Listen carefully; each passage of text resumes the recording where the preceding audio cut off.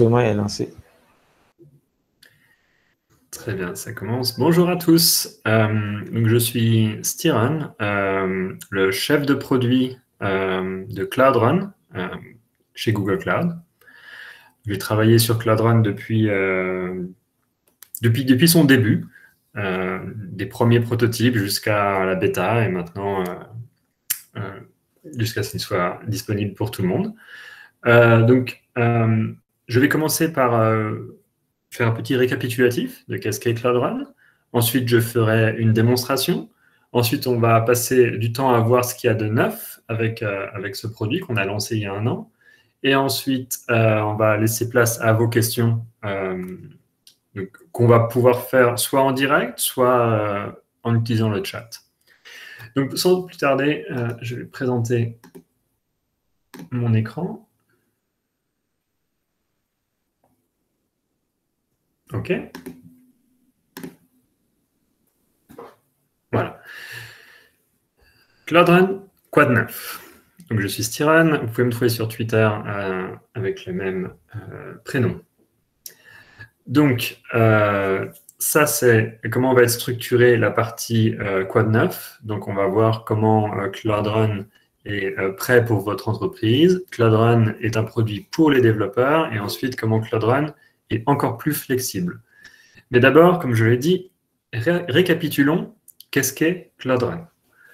Donc, c'est un produit de Google Cloud Platform qui fait partie de la famille euh, Compute, euh, donc c'est-à-dire un produit qui va vous permettre de faire tourner votre logiciel sur Google Cloud Platform. Et en particulier, Cloud Run fait tourner des conteneurs. Donc, ce qu'on déploie sur Cloud Run, c'est un conteneur.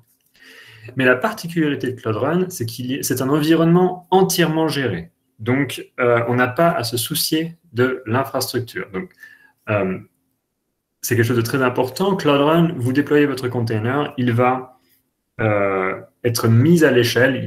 Il, y a, il y a de l'autoscaling automatique pour que votre container soit répliqué autant de fois qu'il le faille afin de répondre aux requêtes qui arrivent. Comme je l'ai dit, il n'y a pas de gestion d'infrastructure, donc vous n'avez pas à vous soucier d'un cluster, vous n'avez pas à vous soucier des machines virtuelles. Euh, Cloud Run va vraiment euh, prendre votre container et c'est tout. Donc, il vous permet d'être plus productif parce que vous avez beaucoup de choses en moins à vous soucier euh, que vous auriez à vous soucier si vous étiez parti sur un produit comme Kubernetes ou alors Compute Engine. Donc, les quelques fonctionnalités de Cloud Run. Euh, donc la, première, c'est que vraiment, comme je vais vous le montrer, il vous permet de déployer des conteneurs en quelques secondes. Euh, donc l'avantage d'un conteneur, c'est qu'il va vous permettre d'utiliser n'importe quel langage de programmation ou n'importe quelle bibliothèque que vous souhaitez. Donc vous n'êtes plus, restreint à un certain euh, ensemble de langages de programmation comme on qu'on pouvait par exemple le faire avec App Engine ou Cloud Functions. Là, vraiment, dans ce conteneur, vous mettez ce que vous voulez. Euh, comme vous allez le voir, l'expérience développeur est très simple. Elle vous permet d'être euh, productif. Quand vous déployez votre conteneur, euh, vous avez automatiquement une, adresse HTTPS, donc une adresse sécurisée qui vous permet de, partager votre serveur directement sur Internet. Euh, vous pouvez bien sûr mettre votre propre nom de domaine dessus. Et encore une fois, vous avez, euh, c'est sécurisé dans le sens où vous avez HTTPS euh, par défaut. la particularité de Cloud Run, c'est qu'il est interopérable. Donc, ça veut dire que vous pouvez facilement aller ailleurs, aller ailleurs que sur Cloud Run, c'est-à-dire vous pouvez facilement déployer les mêmes conteneurs et les mêmes services euh, ailleurs sur Kubernetes ou même ailleurs dans d'autres clouds. Et ça, en fait, cette, euh, cette interopérabilité est basée sur euh, Knative, donc qui est un projet open source que nous avons créé il y a plusieurs années maintenant, qui est un standard ouvert. Donc vraiment, Cloud Run n'est pas quelque chose de, propriétaire, n'est pas quelque chose qui va vous, vous forcer à rester sur Cloud Run si un jour vous voulez partir. Non, au contraire, du fait que Cloud Run accepte des containers, déjà vous pouvez déployer ces containers où vous voulez. Et en plus, euh, si vous voulez, l'API de Cloud Run est une API standardisée et ouverte. Et bien sûr, le dernier point qui est très important, euh, c'est que Cloud Run, vous payez à l'utilisation, vous payez à l'usage. Donc en fait, quand vous n'utilisez pas Cloud Run, vous n'avez rien à faire, euh, vous ne payez rien. Quand vous l'utilisez un tout petit peu, vous allez payer juste un tout petit peu. Donc en fait, vraiment, votre facture va vraiment dépendre de combien vous l'utilisez. Euh, en fait, on arrondit chaque, chaque période à, cent, centaines de millisecondes. Donc ça veut dire que si un jour vous envoyez beaucoup de requêtes sur votre serveur Cloud Run, euh, vous allez être facturé pour ces requêtes, mais c'est tout. Une fois qu'elles sont terminées, euh, vous n'avez pas, vous n'avez plus rien à payer immédiatement. Euh, donc ça, c'est encore une différence par rapport à d'autres produits où les autres produits vous forcent à en fait planifier à l'avance et, mettre en place beaucoup d'instances à l'avance. Là, Cloud Run, vous n'avez rien à faire. Les instances sont directement mises à l'échelle pour répondre à la, charge. Donc, assez parlé, je vais vous montrer ce qu'est Cloud Run. Alors, pour commencer, j'ai dit que Cloud Run, on y déploie des containers. Donc, récapitulons un peu comment on va créer un container. Euh, là, j'ai un programme en Python. Euh, donc ça, c'est vraiment, rien de spécial. C'est vraiment du, langage Python. Et ce langage Python, qu'est-ce qu'il va faire? Il va euh, tout simplement écouter des requêtes get et post sur euh, euh, slash, c'est-à-dire sur, sur l'adresse principale de mon, serveur. Et en fait, et quand il reçoit une requête, il va chercher un, fichier. Et après ce fichier, il va le euh, convertir. En fait, c'est un, un, service Python qui convertit du Microsoft Word en PDF. Donc c'est vraiment du code Python qui va convertir Word, donc c'est-à-dire un point doc, en un point PDF. Et pour faire cette conversion, le code Python fait un appel à OpenOffice, donc LibreOffice, qui est un, un, paquet qui a été installé, euh, que, je, vais installer dans mon container. Donc pour récapituler, ce code Python écoute euh, sur slash pour euh, écoute des requêtes HTTP sur slash et ensuite appelle la fonction convertir. Et cette fonction convertir, elle appelle elle-même OpenOffice pour convertir mon point doc en point PDF. Et, ensuite, elle le retourne à la requête. Donc ça, c'est vraiment du Python. Il n'y a rien de spécial dans ce code. C'est vraiment du, Python. Et ensuite, comment on, va, créer un paquet qui va contenir mon code Python, mes dépendances Python, et OpenOffice? Eh bien, on va en fait, on va packager tout ça grâce à un conteneur. Donc, il faut vraiment penser que les conteneurs sont un peu comme des fichiers zip. C'est un fichier zip qui va tout inclure ce qu'il y a, ce qui est nécessaire pour faire tourner mon application. Donc, il y a mon code Python. Euh, et en fait, comment je vais dire ce qu'il faut mettre dans ce fichier zip euh, C'est avec un petit fichier qui s'appelle un Dockerfile. Donc, quand on parle de conteneurs, on parle souvent de conteneurs Docker, et ces conteneurs sont en fait créés euh, notamment grâce à ces petits fichiers qui vont expliquer comment créer ce, conteneur. Donc ce fichier, voilà, il est très court, et qu'est-ce qu'il dit? La première ligne dit, on va partir d'une base qui est la base Python. Donc dans cette base, il va y avoir euh, l'exécutable Python, il va y avoir des, paquets qui sont intéressants pour les applications Python. Ensuite, avec ces quelques lignes, ce que je vais faire, c'est que je vais installer OpenOffice, parce que vous vous souvenez, mon code Python utilisait OpenOffice euh, pour faire la conversion. Donc, il va falloir que je, l'installe. Et là, en fait, c'est on utilise euh, comme on ferait sous Linux pour installer des paquets euh, d'OS. Ensuite, je vais démarrer Maintenant, je vais installer mes dépendances. Donc, je vais installer Flask, qui est un, framework web Python très connu. Et ensuite, je vais simplement euh, démarrer euh, mon service Python avec la commande Python et euh, toPDF.py, qui est en fait le code que je vous ai montré tout à l'heure. Donc là, en fait, j'ai en quelque sorte la, recette pour convertir mon code en un paquet qu'on appelle un container. Et donc ensuite, pour exécuter cette recette, pour effectivement créer mon container, euh, j'ai plusieurs solutions. Euh, la première, c'est de faire ça sur ma machine. Donc là, imaginons, je suis, sur mon, euh, ordinateur. je, peux je peux créer mon container en faisant docker build. Et, je lui donnerai un tag qui me permettra de l'utiliser plus tard.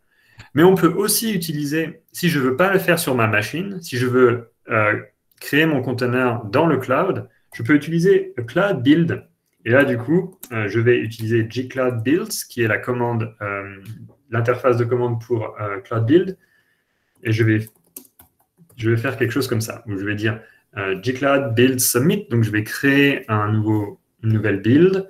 Et avec ça, je peux lui dire de je vais terminer ça. Voilà. Et là, qu'est-ce que je fais? Oh, il faut que j'autorise. Qu'est-ce, que je... qu'est-ce qui se passe quand je tape ça? Euh, Eh bien, euh, mon code va être envoyé euh, dans le cloud. Et ensuite, Cloud Build va suivre la recette qui est, dans ce Dockerfile et étape par étape va effectuer chaque étape afin de créer mon conteneur. Donc là, on voit qu'est-ce qu'il est en train de faire. Il est en train d'installer les, les, dépendances que j'avais spécifiées ici. Alors, pour cette démo, je ne vais pas attendre que le container soit créé. Euh, celui-là, il peut prendre une à deux minutes parce qu'en fait, on va installer beaucoup de choses dedans. On va installer OpenOffice et tout. Donc, je vais arrêter la, démo là pour ce qui concerne euh, créer un container. Voilà, c'était important de vous montrer comment, en fait, créer un container, c'est un container, c'est n'est pas, mystique, c'est vraiment euh, du code, votre application, et ensuite un petit fichier qui va expliquer comment mettre cette application dans euh, dans un, package qui est ce conteneur. Donc voilà, imaginons maintenant que j'ai créé ce conteneur. Ensuite, je vais le, déployer sur Cloud Run. Donc euh, là, c'est la, console Google Cloud que vous, reconnaissez. Euh, donc là, je vais sur la gauche, je vais sélectionner Cloud Run. Ensuite, Euh, une fois que je suis dans Cloud Run. Alors là, je vais vous faire la démonstration en utilisant l'interface, euh, mais je pourrais aussi très bien la faire en utilisant la, ligne de commande. Euh, fermer ça. Je vais rafraîchir, je ne sais pas ce qui se passe, c'est un peu long. C'est parce que je partage mon écran. Voilà, donc là, je suis arrivé dans Cloud Run. Et donc, la première chose que je vais devoir faire, c'est créer un service. Donc, en fait, Cloud Run va vous permettre de créer des services web, mais de créer des services, euh, des microservices privés si vous le souhaitez. Donc, je vais créer un service. Là, euh, je vais lui donner un nom. Je dis que je veux autoriser n'importe qui euh, à l'invoquer. Donc, c'est-à-dire, les services peuvent être privés ou publics. Donc là, en l'occurrence, je fais un service euh, public. Ah, j'aurais dû, mettre mon interface en français peut-être. Euh, ensuite, l'étape d'après, c'est de sélectionner un, conteneur à déployer. Donc faisons ça. Je vais sélectionner euh, le conteneur que qu'on vient de créer. donc c'est ça. Je peux, c'est tout ce que j'ai à faire. C'est tout ce qui est nécessaire pour déployer sur Cloud. Mais il y a beaucoup d'autres options si vous le souhaitez, notamment, par exemple, je peux lui donner plus de mémoire. Euh, si je veux convertir des gros fichiers euh, doc en PDF, peut-être que je peux lui donner 2 euh, Go de mémoire et peut-être que je peux lui donner 2 CPU. Donc voilà, vous avez plein d'options, mais elles sont toutes optionnelles. vraiment, la seule, la seule chose qui est requise, c'est le conteneur. On clique Créer. Et ensuite, vous allez le voir, Là, j'avais rien à faire. Hein. Je suis arrivé sur Cloud Run, il y avait une page blanche, j'ai cliqué Créer. Et là, qu'est-ce que Cloud Run fait? Il importe mon conteneur.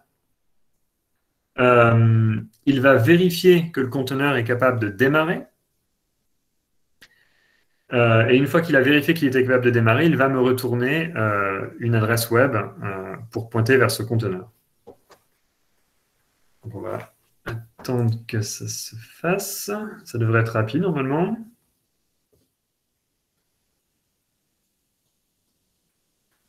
plus long que d'habitude. d'habitude, bah, ça prend à peine 10 secondes. Voilà, là, on voit que euh, ça a terminé. Donc, euh, voilà, vous l'avez vu, ça a pris quoi? Allez, 20 secondes pour déployer de zéro euh, un conteneur. Et en fait, ce conteneur, il a d'ores et déjà une, une adresse web. En cliquant dessus, J'arrive sur mon service web, vous le voyez, là, il est sécurisé, HTTPS. Et là, je peux, mon service web, donc voyons ce qu'il fait il prend euh, un fichier doc et le convertit en PDF. Donc, on peut l'uploader, mais j'ai aussi un, lien qui permet directement d'en passer un euh, en input. Donc là, je lui donne un doc. Là, il va le, convertir. Et euh, donc là, c'est OpenOffice qui va convertir mon fichier doc et il va me retourner mon PDF. Donc ça, ce qu'on voit là, c'est la, preview PDF de Chrome. Donc en fait, mon, microservice a pris en entrée un doc et m'a retourné un PDF. Et donc vous voyez comme... Et ça, vraiment, là, j'ai uniquement payé, moi en tant que, développeur, lorsque le service processait le doc. Maintenant, maintenant qu'on n'envoie plus aucune requête dessus, je ne paie plus rien. Et donc vraiment, ça, euh, suit votre, votre usage. Euh, votre facture suit votre usage. Et si je voulais envoyer beaucoup, beaucoup, beaucoup de documents à, convertir, Cloud Run va créer plusieurs instances de ce conteneur pour, euh, pour, euh, pour, euh, répondre à la charge. Donc vraiment, ce n'est pas seulement un conteneur, ce sont plusieurs qui sont automatiquement mis à l'échelle. Donc pour revenir, Cloud Run vous donne voilà, SSL gratuit, là vous l'avez vu. Si vous voulez, vous pouvez mettre votre propre nom de domaine. Donc vous pouvez mettre votre propre nom de domaine que vous, ayez, que vous avez déjà ou que vous pouvez acheter. Euh, là, par défaut, euh, Cloud Run va capturer tout ce qui est euh, log. Donc, tout ce qui, les journaux de, ce, de, ce, service vont être capturés par défaut. Ils vont être affichés là. Par défaut, Cloud Run est intégré avec Cloud Monitoring. Donc, vous avez tout ce qui est requête par seconde et tout et tout. Tout ça, c'est capturé. Et vous pouvez. Pardon chose qui passe dans la rue, ça va peut-être faire du bruit. Euh, vous pouvez euh, créer une nouvelle version euh, de ce service en recliquant sur un bouton et en, et en, appuyant, et en changeant des paramètres. Donc voilà, ça, conclut ma démo. vous voyez comment c'est très simple, comment en quelques clics, je peux partir de rien, et d'un container que j'ai créé soit depuis ma machine, soit depuis euh, Cloud Build.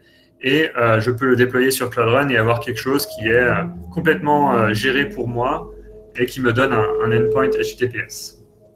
Voilà, donc on va maintenant, je vais repasser sur ma présentation. Et là, on va voir ce qu'il y a de neuf avec Cloud Run. Parce que comme je l'ai dit, en fait, on a lancé Cloud Run publiquement il y a un an, en 2019. Et euh, depuis, on a ajouté plein de fonctionnalités. Donc, c'est ça euh, dont je vais parler euh, dans cette partie de la présentation. Donc, déjà, je vais vous montrer comment Cloud Run est, maintenant prêt pour votre entreprise, pour votre business. Donc, la première chose à dire, c'est que quand on a lancé Cloud Run il y a un an, on était en bêta. Maintenant, Cloud Run est ce qu'on appelle, ce qu'on appelle GA, c'est-à-dire il n'est plus bêta, il est, euh, sa, disponibilité est générale et ça, ça arrive avec un, un, certain contrat. Donc en fait, euh, ce contrat, c'est que 99,95% du temps, euh, votre service Cloud Run tourne. Donc vraiment, enfin, est garanti de tourner. Donc vraiment, vous pouvez lui faire confiance. il est aussi bien supporté que tous les autres produits Google Cloud qui sont eux-mêmes GA. Ensuite, euh, une chose qu'on a faite, c'est qu'on a étendu Cloud Run euh, là où on pouvait dans les euh, data centers Google Cloud. Donc, les points verts, ce sont les points où Cloud Run est disponible aujourd'hui. Les points bleus, c'est là où il le sera d'ici la fin de l'année. Et les points blancs, ce sont les, régions que Google Cloud va ouvrir d'ici peu. un autre, une autre fonctionnalité très importante pour euh, beaucoup de nos, clients euh, et en fait de pouvoir connecter Cloud Run à euh, votre VPC. votre VPC, c'est ce qui va, par exemple, c'est ce qui a avec, c'est ce qui contient vos, vos, IP privés sur de vos, de vos, machines virtuelles sur Compute Engine ou peut-être de Cloud Memory Store. Donc voilà, maintenant Cloud Run peut accéder à ce qui se passe dans votre VPC. Donc là, beaucoup, beaucoup de nos gros clients ont, utilise ceci. parce qu'ils ont des choses dans leur VPC, et donc maintenant Cloud Run peut, les, appeler. Une autre chose très importante qu'on a, qu'on a faite, c'est que là, ce que je vous ai montré, voilà, j'avais un conteneur, je l'ai déployé en quelques clics, et il a immédiatement servi 100% du trafic entrant. En fait, quand vous avez un service en production, vous allez peut-être euh, vouloir envoyer le trafic graduellement sur la nouvelle version de votre service. Donc, voyons comment ça peut marcher. Euh, donc là, c'est l'équivalent de la ligne de commande de, ce que je vous ai montré dans ma démo. C'est-à-dire, je vais euh, déployer mon conteneur. Sauf que cette fois, je vais dire n'envoie pas de trafic dessus. Et je vais également lui donner un petit tag qui va me permettre de le manipuler plus tard.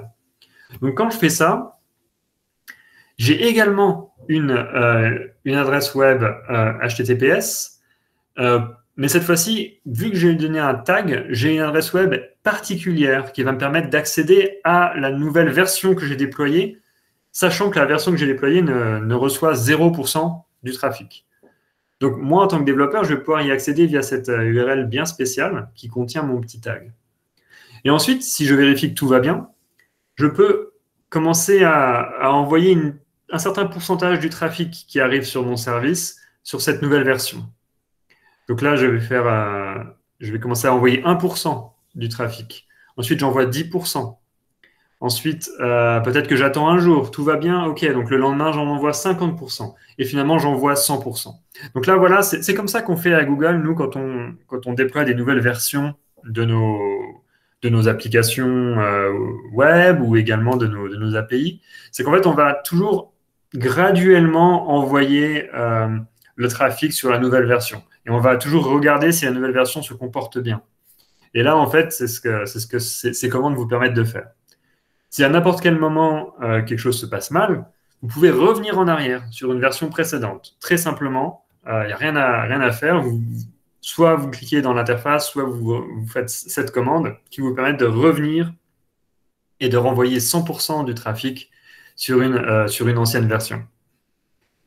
Voilà, donc ça c'est quelque chose qui vous permet de vraiment d'être plus en contrôle de, vos déploiements.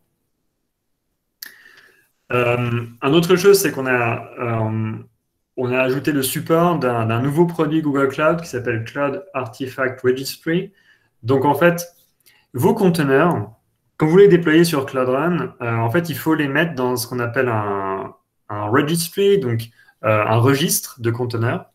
Et en fait, Cloud Artifact Registry, c'est euh, la nouvelle version du, registre de conteneurs de Google Cloud. Donc, il, apporte plein de bénéfices comme euh, vous pouvez choisir la région dans laquelle votre registre est, vous pouvez apporter vos propres clés de chiffrement. Vous avez, il a un quota gratuit. Donc, là, si vous utilisez Artifact Registry, Cloud Build et Cloud Run, vous pouvez, en fait, si vous avez un usage très bas, complètement rester en dessous du quota gratuit. Euh, ce qui n'était pas le cas avec l'ancienne version qui s'appelait Container Registry. ensuite, une grosse fonctionnalité qu'on a déployée, c'est l'intégration avec euh, Cloud Load Balancing. Donc, par exemple, qu'est-ce que ça va vous permettre de faire? Ça va vous permettre de, faire de l'équilibrage de charge entre plusieurs régions. voyons euh, sur la droite un exemple. Là, quelqu'un arrive de San Francisco sur mon nom de domaine, qui est un nom de domaine géré par un Cloud Load Balancer. Donc, quand, cette requête arrive, euh, l'équilibrage de charge va en fait la rediriger vers la région la plus proche. Et, euh, là, en l'occurrence, j'ai déployé euh, sur Cloud Run dans trois régions différentes le même conteneur. Donc, parce que j'ai le même conteneur dans trois régions différentes, Cloud Load Balancer va en fait envoyer la requête vers le, vers le service le plus proche. En l'occurrence, si je venais de San Francisco, j'aurais appelé euh, la région US. Si quelqu'un vient de Paris, euh, Cloud Balancer va par exemple décider d'envoyer la requête euh, dans la région Europe. Donc vous voyez comment vos utilisateurs peuvent avoir un, nom de domaine et une URL qui est toujours la même, mais en fait, vous pouvez vous créer des services globaux à l'échelle du monde euh, qui vont, où en fait l'équilibrage de charge va, rediriger les requêtes vers l'endroit le plus proche. Donc ça, ça vraiment, ça va vous permettre euh, de diminuer la latence. Euh, en fonction de là où sont vos utilisateurs, ça va, la requête va aller dans, la région la plus proche. Et également, si jamais il y a une des régions Google Cloud qui a un problème, ça va vous permettre de rediriger ces requêtes vers des régions qui n'auraient pas de problème.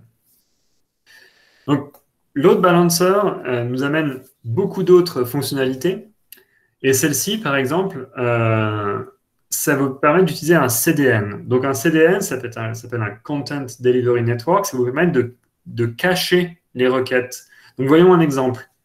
Là, un premier, euh, client arrive, envoie une requête euh, vers votre service, et euh, cette requête, voilà, c'est la première fois qu'on la voit, elle va, atteindre votre, service Cloud Run votre container va la, processer, et, va la, traiter et va retourner une réponse. Et ce que vous pouvez faire, c'est que vous pouvez attacher à cette réponse un, petit header qui va parfois dire euh, vous, pouvez la, vous pouvez cacher cette réponse pendant 300 secondes, ou n'importe quel nombre que vous souhaitez. Et ensuite, si un autre client arrive dans la même région du monde et fait, et fait la même requête, alors euh, Cloud CDN va pouvoir directement renvoyer la réponse. Donc vous voyez comment ça, ça va vous permettre deux choses. Ça va vous permettre d'améliorer les performances de votre euh, application parce qu'en fait, euh, Cloud CDN est très proche des utilisateurs finaux et également va vous permettre de diminuer vos coûts puisque là, la requête, la deuxième requête n'a même pas atteint votre service Cloud Run, donc Cloud Run n'a même pas démarré pour servir cette requête.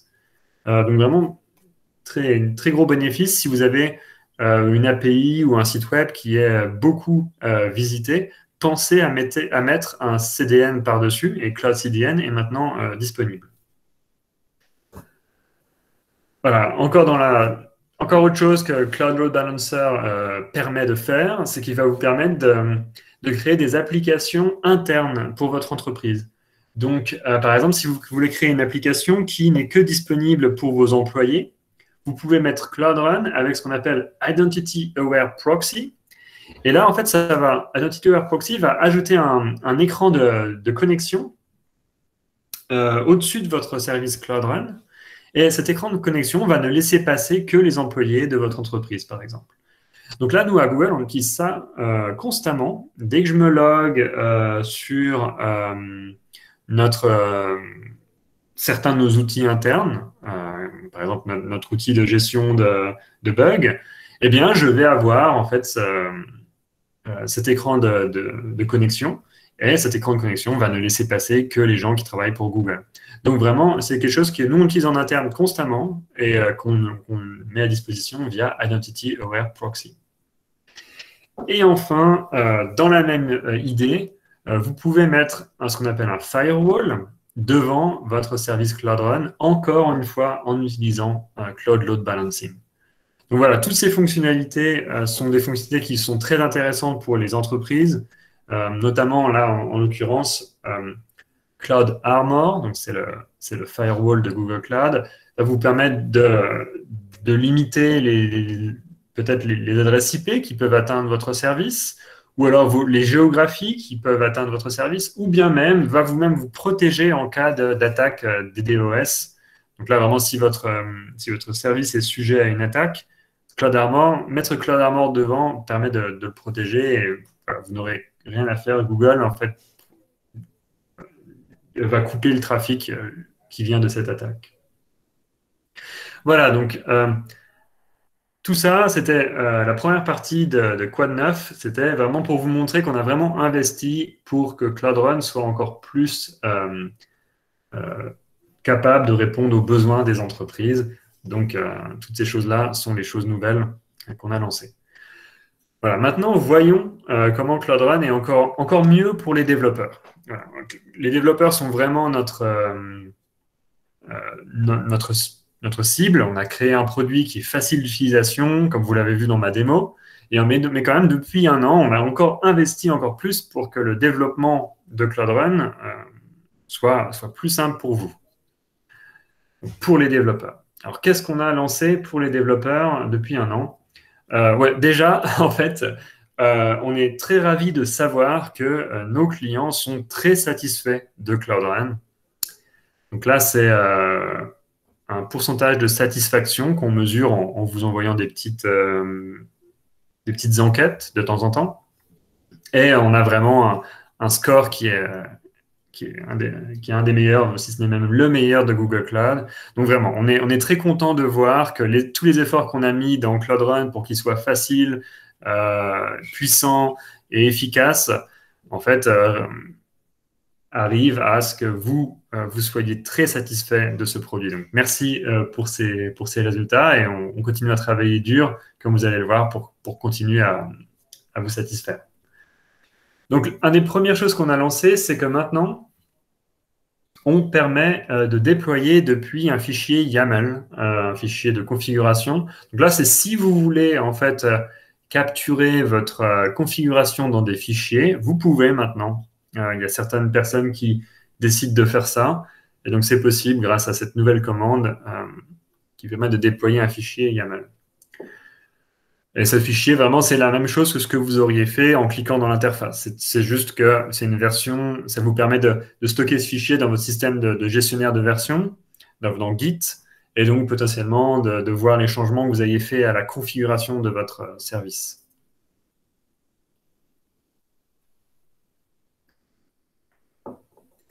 Ensuite, euh, une nouveauté, c'est que Cloud Run est maintenant intégré avec Cloud Code. Donc Cloud Code, c'est euh, des plugins pour euh, Visual Studio Code ou IntelliJ. et donc là, vraiment, ce plugin va vous permettre de déployer directement depuis Cloud Code sur Cloud Run. Il va vous permettre de générer des, applications d'exemples. Il va vous permettre de gérer vos services. Donc là, ce que vous voyez sur l'écran, c'est en fait dans Visual Studio Code, vous avez sur la gauche un petit euh, explorateur des services Cloud Run. Et il va vous permettre aussi, très important, de lancer votre service Cloud Run en local. Ce n'est pas obligatoire. Vous pouvez très bien utiliser euh, Python, Node, Java pour lancer votre service en local. Mais si vous voulez le lancer dans un environnement qui ressemble à ce que vous aurez dans le cloud, alors utiliser Cloud Code est un bon moyen de faire ça parce que ça va vraiment faire en sorte que ça, l'environnement, l'émulateur, c'est un, émulateur en fait qu'on a, lancé. Ensuite, euh, on a lancé les euh, build packs Google Cloud. Donc là, dans ma démo tout à l'heure, pour créer mon container, j'ai utilisé un fichier qui s'appelait un Dockerfile dans lequel je listais les commandes à exécuter pour euh, aller de mon, simple fichier Python en un container. Mais en fait, j'aurais pu ne pas utiliser euh, ce, Dockerfile et, et, la ligne de commande Docker. Et à la place, j'aurais pu utiliser les build packs Google Cloud. Et là, par exemple, si, on prend l'exemple de, la, droite, dans mon répertoire local, je n'ai que une app Node.js qui ne contient pas de Dockerfile. Et euh, pour transformer cette app Node.js en conteneur, je, en fait, je n'aurai pas besoin d'écrire de Dockerfile, ni même d'utiliser Docker.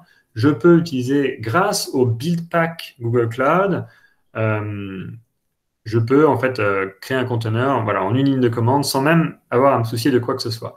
Donc en fait, les build packs, ça va être des, des, outils qui vont permettre de créer des conteneurs pour un, pour un ensemble de langages bien précis. Et donc aujourd'hui, on, supporte cet ensemble de langages-là. Euh, et ce qui est intéressant, c'est que les build packs sont en fait sont open source, donc vous pouvez les trouver sur GitHub. et c'était aussi un, standard ouvert. Euh, Google a en fait adopté un standard qui existait déjà euh, pour transformer le code en conteneur et a créé euh, ses propres recettes pour faire, pour faire ça. Alors, encore une fois, petite chose dont je me sers très souvent, c'est que maintenant, quand vous déployez sur Cloud Run et que vous avez construit votre conteneur en utilisant Cloud Build depuis un, un repo Git, et eh bien en fait, on va vous afficher le lien vers GitHub, par exemple, euh, depuis l'interface Cloud Run. Donc ça, c'est très, très pratique si vous voulez en fait savoir quel commit Git a été utilisé pour créer quelle euh, version de votre service Cloud Run. Maintenant, on va directement vous proposer un lien euh, dans l'interface depuis qui va vers GitHub. Et en parlant de GitHub et de Git, en fait, si vous, c'est très recommandé de, de, ne pas déployer à la main votre service, mais en fait de mettre en place un système de déploiement continu. Donc là, ce qu'on a fait, c'est que euh, tout à l'heure dans ma démo, j'ai sélectionné un conteneur qui existait déjà, Et ce que vous pouvez faire, c'est en fait choisir de automatiquement construire et déployer ce conteneur quand vous poussez dans une branche Git, par exemple. Et donc, voyons, voyons ça, c'est comme une démo, mais j'ai fait des screenshots, comme ça, ça va plus vite. là, en fait, ça va me demander de, de, me, de connecter par exemple à GitHub, on supporte Bitbucket aussi. Une vous avez connecté à GitHub, vous sélectionnez votre service, euh, votre repository Git. Ensuite, vous lui dites euh, quelle euh, branche vous voulez, où sont vos sources, et une, un, premier, un premier build va être créé. Mais après, ce qui est important de savoir, c'est qu'à chaque fois que vous déployez, que vous poussez dans cette branche, et ben, en fait, Cloud Build va automatiquement recréer euh, une nouvelle version, euh, comme on le voit là. Et vous allez même avoir l'historique euh, des, des, builds qui va s'afficher dans l'interface. Vous allez pouvoir facilement voir si une des builds a été un échec. Tout ça, c'est très facile. En fait, voilà, dans Cloud Run, vous pouvez cliquer, en quelques clics, vous, vous, donnez accès à votre repo GitHub. Et après, à chaque fois que vous pouvez vous pousser dans, ce repo, Cloud Run va être mis à jour avec la dernière version de votre code. Donc c'est assez intéressant, ça donne une expérience très simple pour les développeurs et en fait ça vous permet euh, d'utiliser des, des, recommandations, la recommandation d'utiliser du, déploiement continu, qui est une, quand même quelque chose qu'on recommande de faire. Enfin, euh, quelque chose qui va sortir très très bientôt euh, maintenant, c'est que vous allez pouvoir en fait choisir comment doit, doivent être déclenchés votre service Cloud Run. Donc en fait, dans ma, dans ma démo, j'ai utilisé euh, une requête de mon navigateur pour ouvrir mon service. Euh, mais ce que vous allez maintenant pouvoir faire, c'est en plus de, de cette euh, adresse HTTP, c'est que vous allez pouvoir dire déclencher mon, service quand quelque chose se passe dans mon architecture Google Cloud. Donc en fait, vous allez pouvoir choisir PubSub ou n'importe quelle ressource via les, les, journaux de log Google Cloud donc là, ça vous permettre, par exemple, dès que quelqu'un euh, crée un. Dès qu'un nouveau fichier arrive dans, Cloud Storage, vous pouvez déclencher euh, Cloud Run. Dès que quelqu'un va créer une nouvelle machine virtuelle, vous pouvez déclencher Cloud Run. Donc là, vous pouvez imaginer comment vous pouvez facilement euh, créer des, automatismes via ce système de déclenchement. Et voilà, donc les, ces, ces, triggers en fait, vont vous envoyer des événements euh, et, le, contenu de ces événements est en fait un, standard ouvert euh, qui s'appelle Cloud Events. Et enfin, pour aller encore plus loin, euh, Google a lancé Cloud Workflows qui vous permet en fait d'orchestrer vos services Cloud Run avec une espèce de logique. Donc, par exemple, dans l'exemple sur la droite, tous les jours, je liste mes, machines virtuelles de mes développeurs et pour chaque machine, euh, j'en extrais le statut. Si elle, est, euh, si elle est en train de tourner, alors je l'arrête et j'envoie un email euh, au propriétaire de la machine virtuelle. Donc vous voyez en fait comment cette logique, au lieu de l'écrire dans un gros service et tout et tout, vous pouvez en fait l'écrire dans plein de petits services en utilisant Cloud Run, Cloud Functions, ce que vous voulez, et, et, utiliser une sorte de système de, workflow pour exécuter euh, ces services. Donc c'est quelque chose de très nouveau et je vous encourage à, aller voir aussi Cloud Workflows. Donc voilà comment euh, on a investi pour rendre Cloud Run encore plus euh, agréable pour les développeurs avec toutes ces nouvelles fonctionnalités. Mais bien sûr, comme vous l'avez vu, les fonctionnalités de base sont toujours là avec une interface très simple, pas de, gestion d'infrastructure. si vous utilisez Cloud Run, vous verrez que on a mis beaucoup d'attention dans les détails de la, ligne de commande, par exemple, ou dans les messages d'erreur et, dans tout ça. Voilà, et enfin, la dernière partie, euh, c'est qu'on a euh, travaillé pour rendre Cloud Run plus flexible par rapport à ce qu'il était il y a un an. Donc, euh, très rapidement, Maintenant, vous pouvez choisir jusqu'à 4 Go de, mémoire et 4 euh, CPU. En fait, les 4 CPU vont arriver très bientôt. Aujourd'hui, on ne peut que choisir 2, mais très très bientôt, ce sera 4. Vous allez pouvoir choisir d'exécuter vos requêtes jusqu'à 1 heure avant qu'elles expirent. Donc là, ça vous permet de vraiment, si vous avez de, longs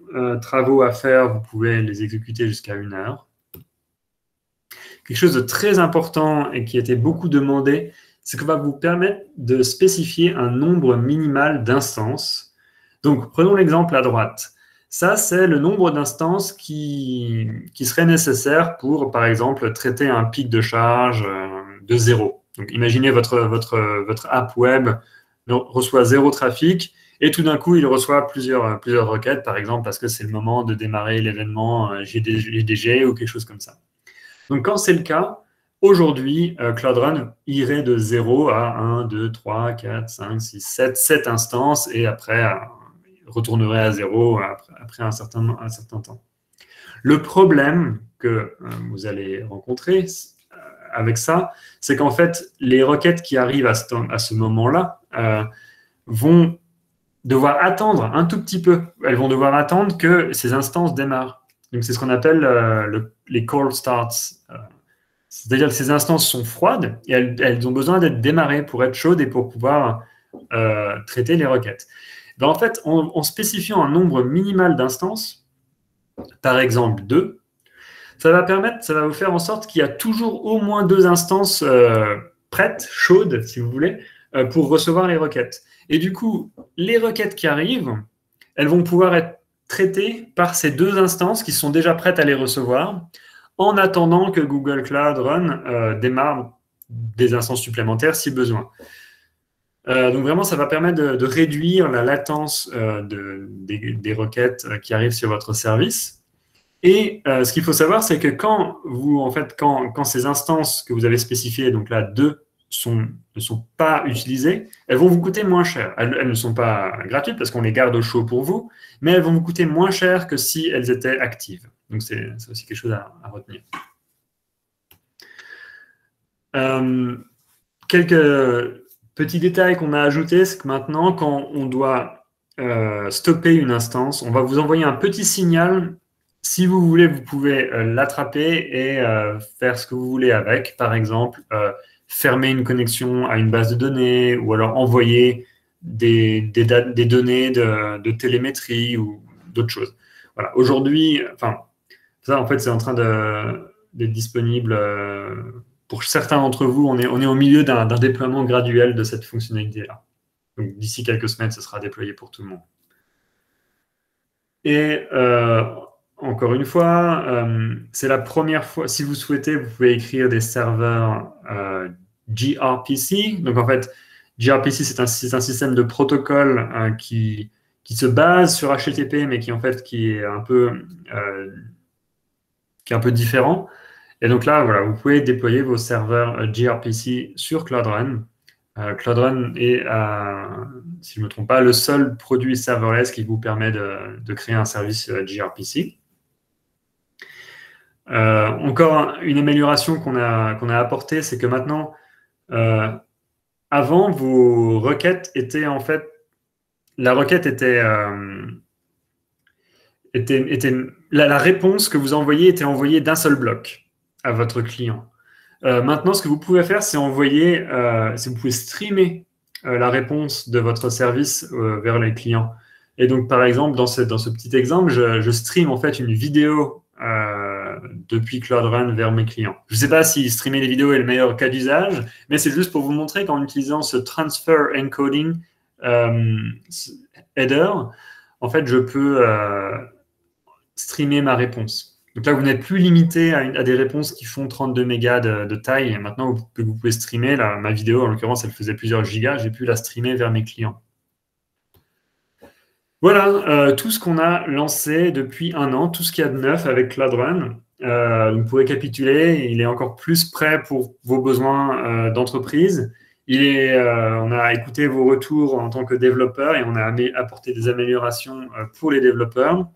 Et on l'a rendu plus flexible, soit en essayant de pousser un peu les limites initiales de Cloud Run, soit en apportant de nouvelles fonctionnalités comme gRPC ou Server-Side Streaming et bien sûr, on ne va pas s'arrêter là. On a déjà beaucoup d'autres fonctionnalités qui sont euh, en travaux et qui vont arriver dans les, prochains mois euh, sur Cloud Run. Donc voilà, ça conclut ma présentation.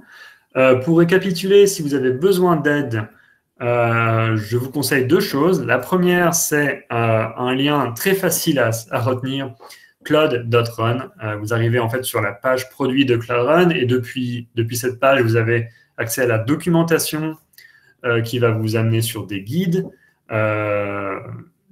des, des, guides, par exemple, on a des démarrages rapides. Je vous conseille de suivre les démarrages rapides si c'est la première fois que vous utilisez Cloud Run. La documentation va couvrir tout ce que j'ai présenté et bien plus, et des tutoriels, par exemple, comment créer une app web avec Cloud Run, comment euh, utiliser PubSub avec Cloud Run, des choses comme ça. Ensuite, pour ce qui est aide euh, et questions, euh, je vous conseille de rechercher déjà sur Stack Overflow si la réponse n'y est pas, mais également de poser vos questions et euh, utiliser le tag Google Cloud Run. Euh, moi-même et nos équipes, euh, on, regarde ce tag et on essaie de répondre à vos questions sur Stack Overflow. Donc voilà, merci beaucoup d'avoir suivi cette présentation. voilà, pour récapituler, je suis Styron, je suis le Product Manager de Cloud Run à Google Cloud. Donc, vous pouvez me trouver aussi sur Twitter à c'est comme mon prénom. Et voilà, je veux être sûr qu'on a du, temps pour vos questions. Donc, on a, on a un quart d'heure de, questions-réponses si vous le souhaitez. Donc, je vais regarder le, chat euh, du meeting, mais également, si vous souhaitez prendre la parole, euh, je suis tout à fait prêt à y répondre. Bonjour Styren, euh, ici Anthony Monté. J'ai un petit tas de questions. Bien sûr. Euh, d'accord. Au, début, j'avais entendu, euh, tu avais dit que euh, le Google Build était Run était basé sur un protocole ouvert. Et donc, du coup, je pense conteneur, etc. Et je me dis OpenFace ou, ou quelle technologie en fait? C'est OpenFace? Alors non, deux choses. Donc déjà, le conteneur, la technologie d'un conteneur est une technologie standardisée. Donc déjà, l'unité de déploiement est, quelque chose de très ouvert. On peut déployer un conteneur partout. Donc déjà, à ce niveau-là, il, y a un système qui est beaucoup moins propriétaire que d'autres produits. Ensuite, pour répondre à ta question, on peut créer des conteneurs en utilisant OpenFace. Euh, parce que OpenFace, en fait, ça va être un outil qui permet de transformer des petites fonctions.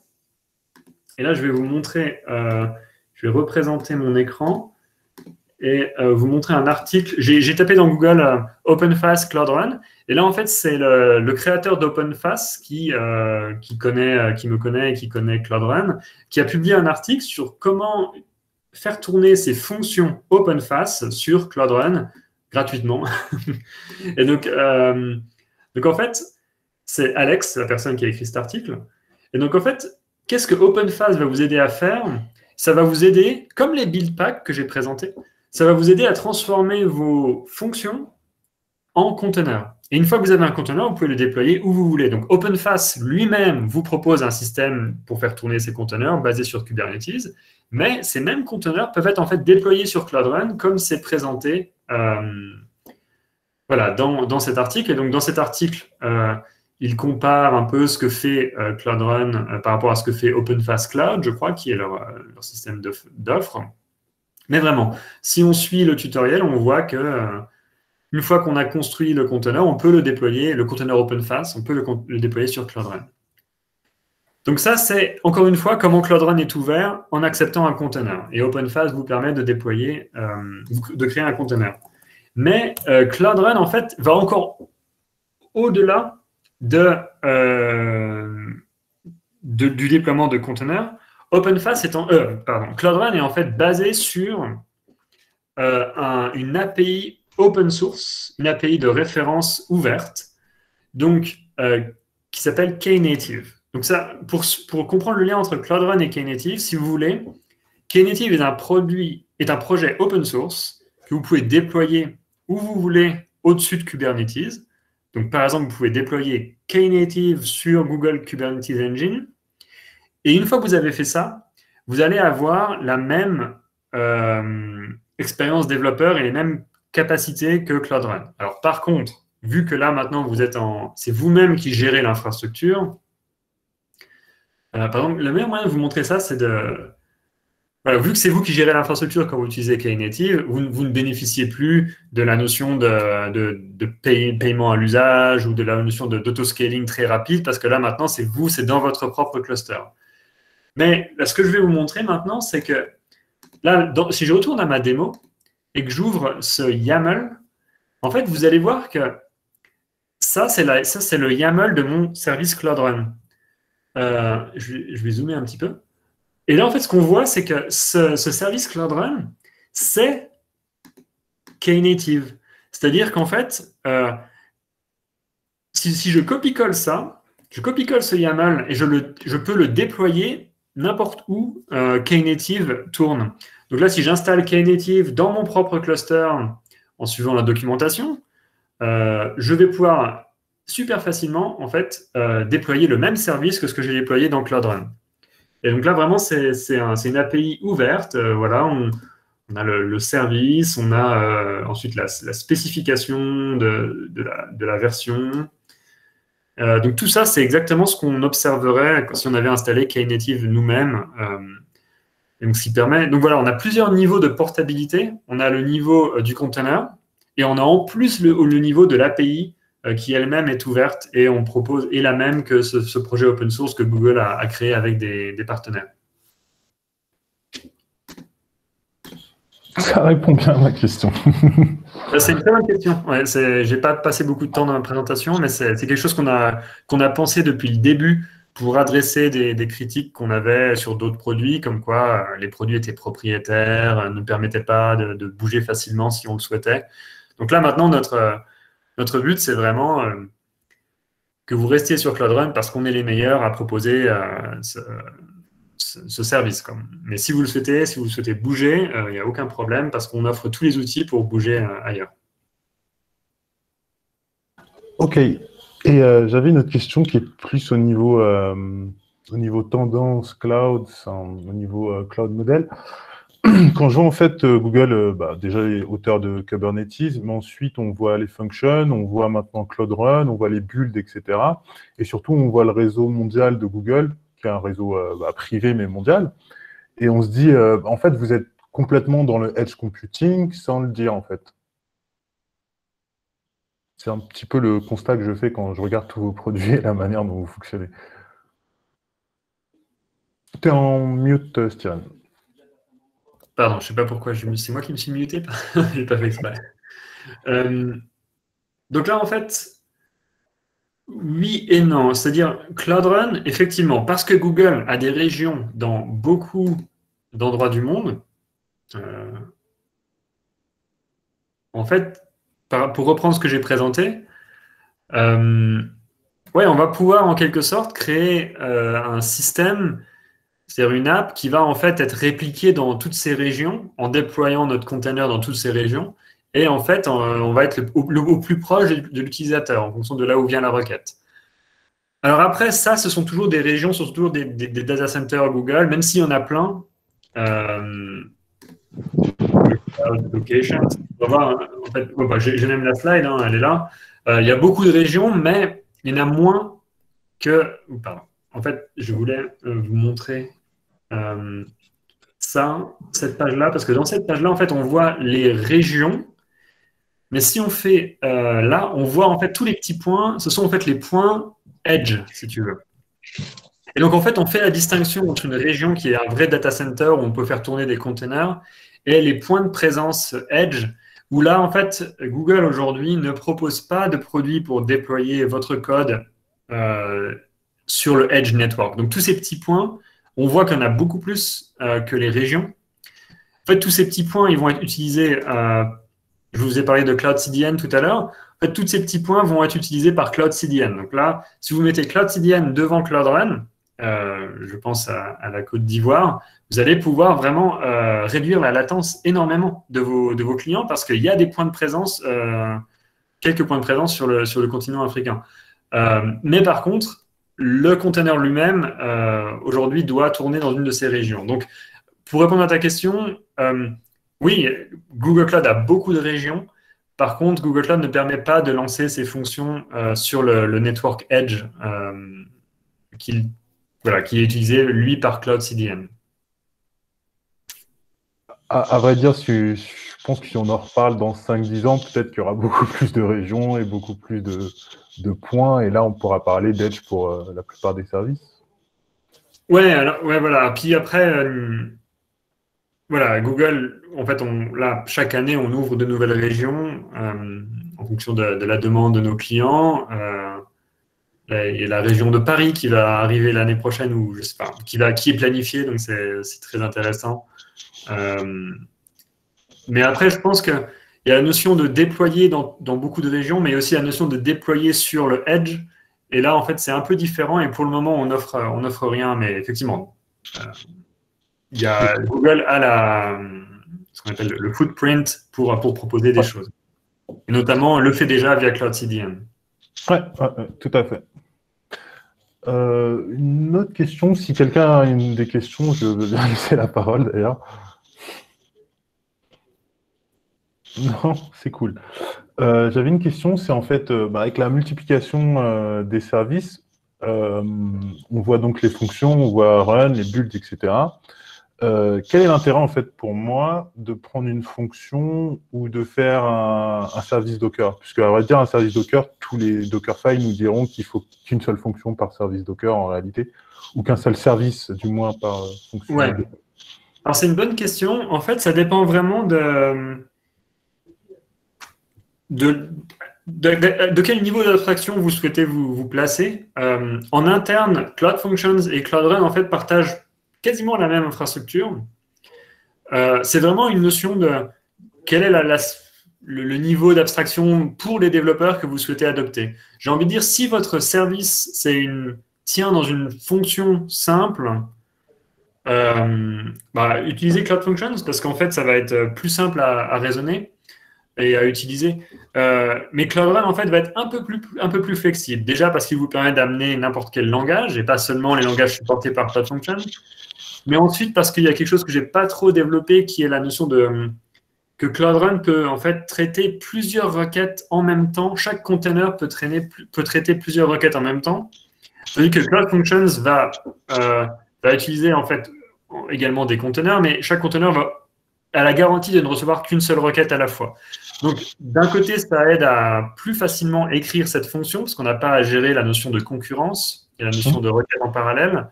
Mais d'un autre côté, c'est peut-être moins efficace, ça coûte un peu plus cher, parce qu'il euh, y a beaucoup plus de containers qui vont être créés, puisque si on reçoit plein de fonctions à la fois, euh, plein de requêtes à la fois, il y aura autant de containers que de requêtes qui vont être créées. Cloud Run, en fait, va, la plupart des langages.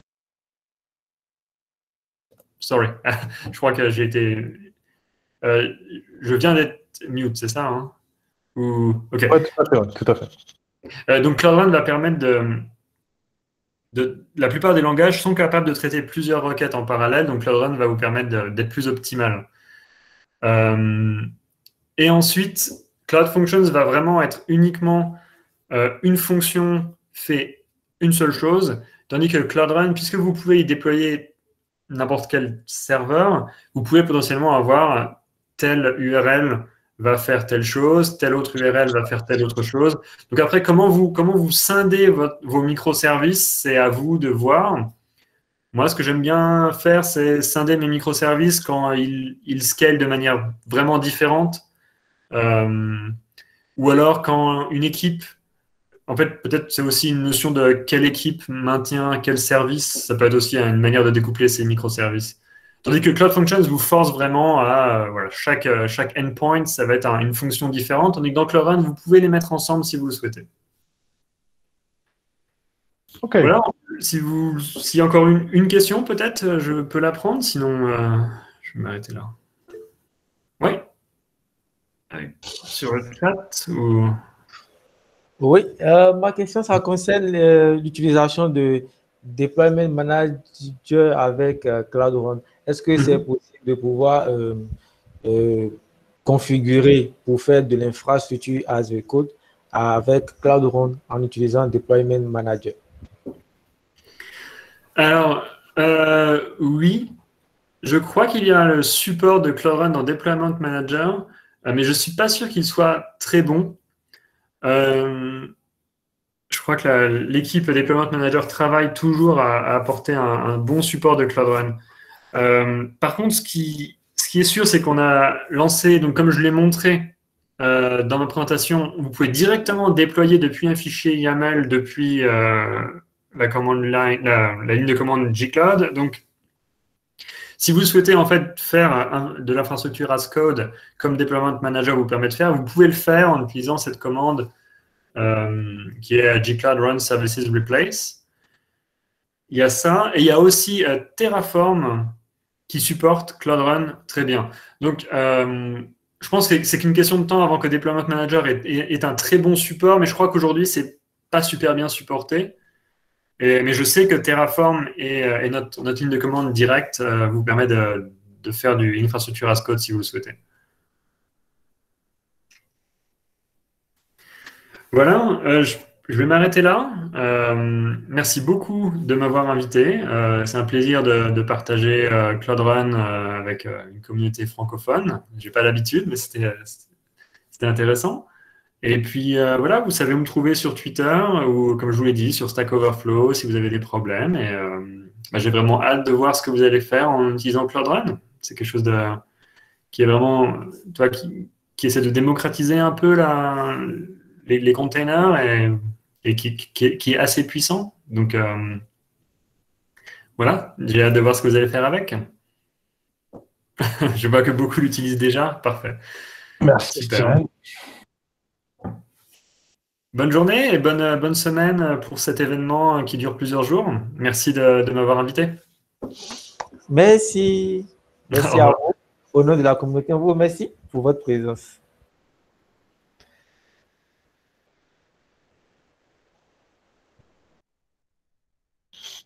Merci pour euh, l'organisation, Ezekiel. Merci, Armen. Bonne journée à vous. Merci. À vous. Bye.